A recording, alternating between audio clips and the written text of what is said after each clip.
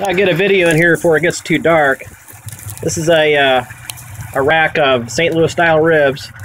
Um, the self-basting is just crazy right now, the, how it's just basting from one side to the other. Uh, these things are going to be good.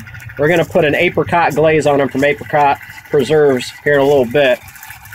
And up top, we got a little straggler piece we cut off, so we'll glaze that one too.